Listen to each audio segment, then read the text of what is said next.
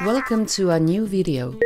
Today's tutorial will allow you to repair various Citroën, Fiat, Opel and Peugeot dashboard models using Minitools display.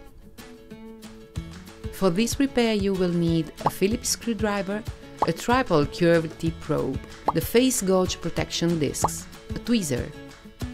Position the dashboard as shown and undo the screws on the back. Remove the black plastic cover and the front part. Remove the covers from the pointer spindles. Slide the protective disc beneath each pointer and turn the pointers anti-clockwise, pulling gently to remove.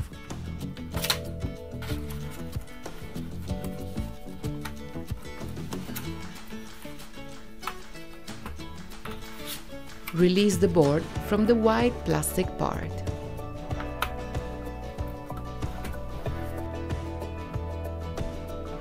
Open the LCD flat connector using the triple curved tip probe. Remove the original display. Now you're ready to fit Minitools display. Remove the protective film from both sides. Fit the flat into its connector and close tightly.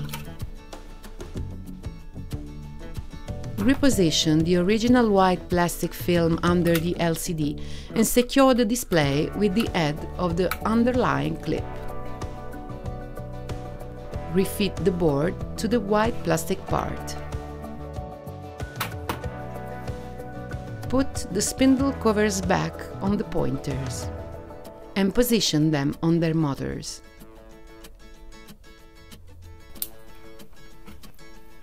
Turn the pointers to restore them to their original positions. Refit the front and back, then do up the metal screws. Switch on the dashboard. Perfetto! Problem solved! Go to the online store at minitools.com to find a wide range of parts and tools for doing these repairs. Thank you for choosing Minitools.